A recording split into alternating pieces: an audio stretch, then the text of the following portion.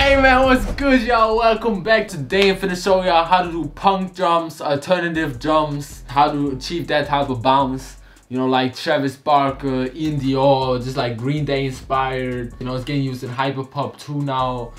Even in like normal trap beats with like a alternative section where there's like real type of drums going on. Yeah, let's get into this video. Make sure to subscribe, like. Y'all already know what to do, man. So first of all, y'all gotta make sure y'all get a crazy like rock guitar type of melody. You know, got this right here. Shout out Nas. And it gotta be a high tempo, so like everything above 160 will probably work, you know what I'm saying? So I just got this drum kit right here. You know what I'm saying? We got the then we got this.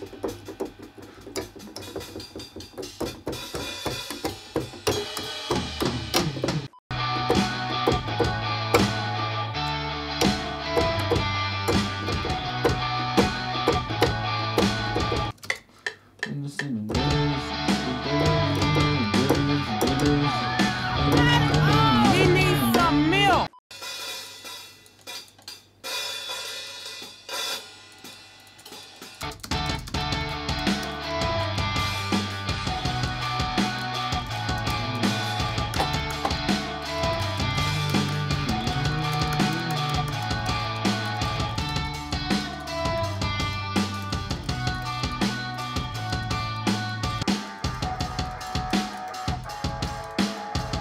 So important step right here is to you know have a crazy open hat. There he is.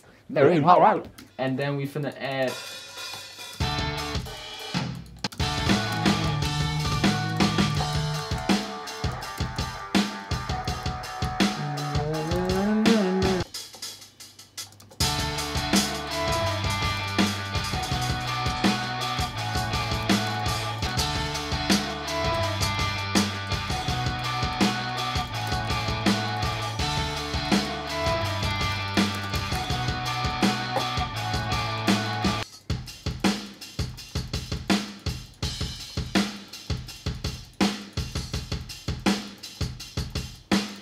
I'm gonna probably do a part where like the kick pattern is more simple and one where it's more complex. But I still don't like that kick pattern. I want that kick to be louder too. And hit harder. And we need a bass line and like some variation in the drum pattern.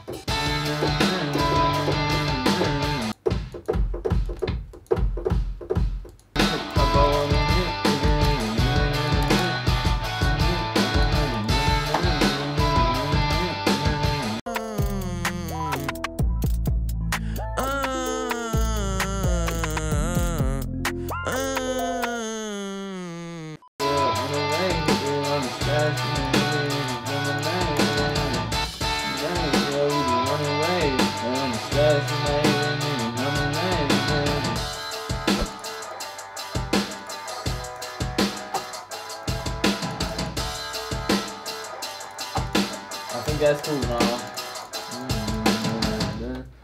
I think that's cool. I think that's cool. I think that's cool.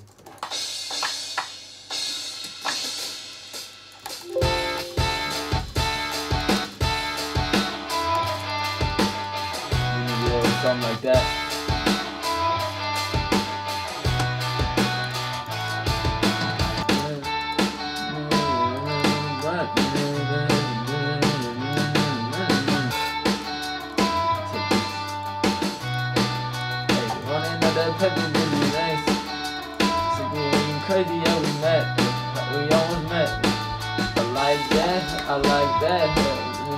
That paper yet, we might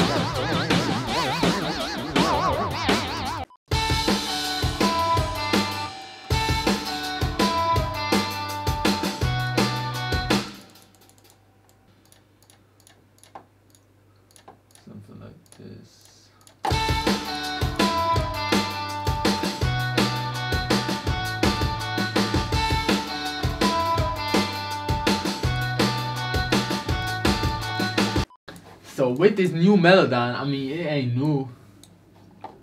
It's been out, but I just got it. It even shows you what chords were being used. we in D major right here, and you know the first chord right here is D sus two G B A D sus two G sus two B A. That's the chord progression. I'm finna try just freestyle a bass, do a few takes, open Omni for this one. You already know, bro. Best best bass sounds. I know Rickenbacker bass, I is cool, but I ain't gonna lie, it's been especially the new Triton. Oh no, Triton Trilian updates been crazy. So like they added a lot of good bass sounds. Then we kind of done, to be honest.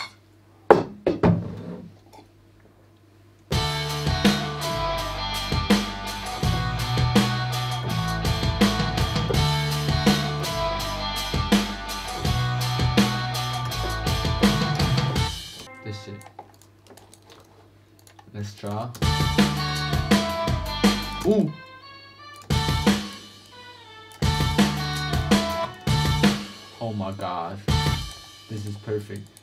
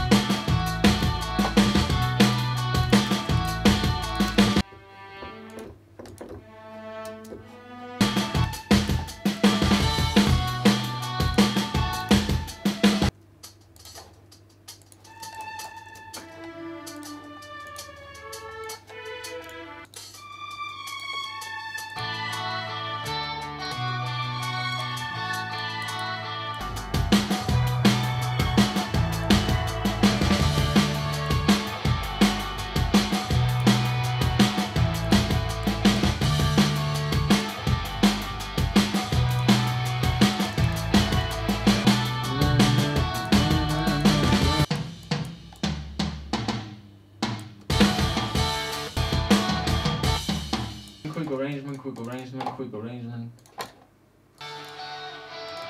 Yeah, so it's perfect like this. And then mm, I might bring in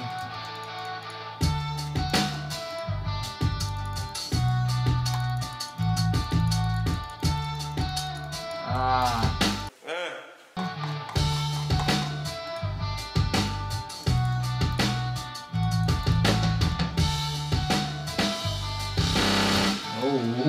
Ooh.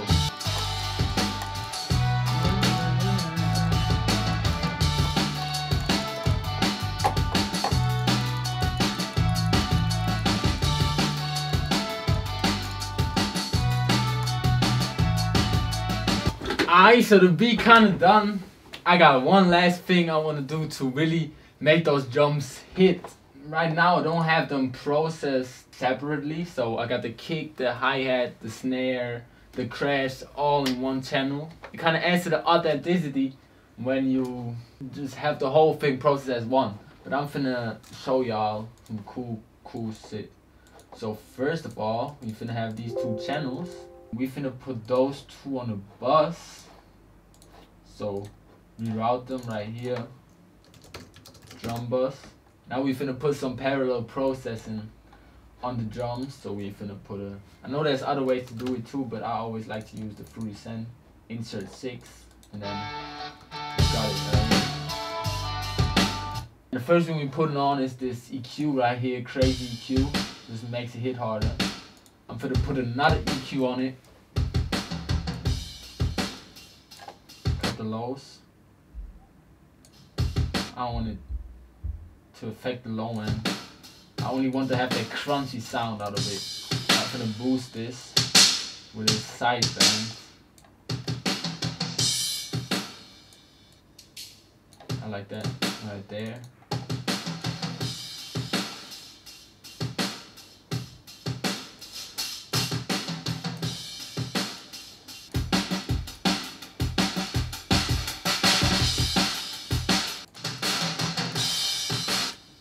Reason we ain't putting no reverb on is because this already has this room sound right here. And that wraps it up for this video, man. The beat is pretty much done.